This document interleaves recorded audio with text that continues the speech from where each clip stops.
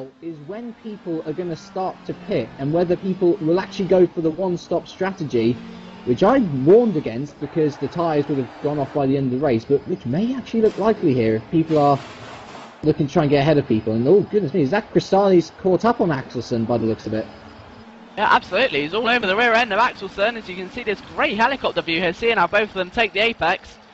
Uh, let's just see how much of a gain Cristiano gets. You can see that gap almost getting closer as they come to the straight. He got a great run. Great run. Let's see what it's like into turn one. Then he's zooming up to the back oh, of it. Blimey. He's got so much Gotta more make move. momentum. There's a lot of smoke into turn one. That's a bit too much for my liking. And he's but- got him.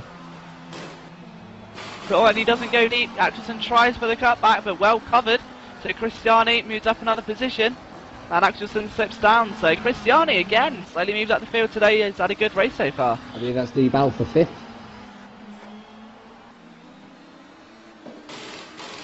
It's taken a while, but it looks like we finally got this stream sorted. So It looks like it. No, no, no. Wait, whoa, whoa, whoa, whoa. Do not call the curse of the commentators again.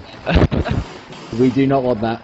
And, and look at this. I mean, it looked like uh, Venari was pulling away massively from uh, uh, lost a lot of time there. Yeah, Yeah. Cristiani. I mean, let's just take a look at on board quickly then. And take a look. Yeah, that's a huge gap already Yeah. from what it was just a few seconds ago. That is crazy stuff there. So a second.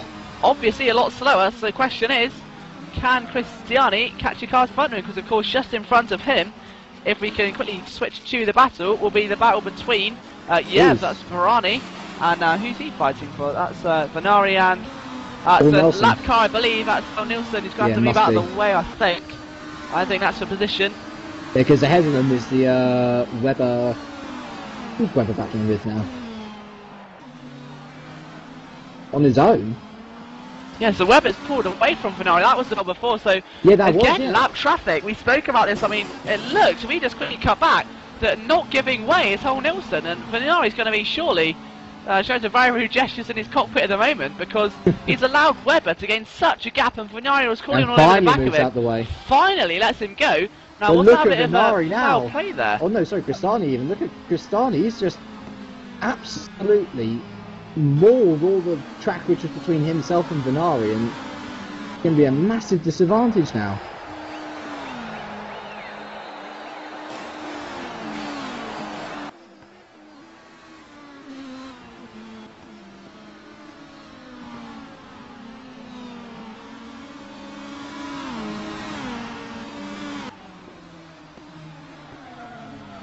Massive lock up there by Binari. He does not want to do that with Cristani just, you know, almost on his gearbox now. I mean, the man's looking fast and he needs to pull out all the stops.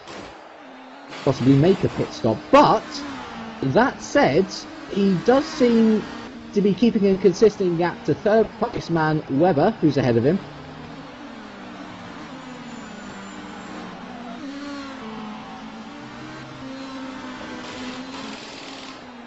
Yeah, traffic not actually doing the best of jobs for Venari, and I think there will be a few words between himself. Oh, and we lost Lynn there. It's, there will be a few words between Venari and Hall Nelson if Venari does lose out massively from this coming battle, which Cristani seems to be bringing to him.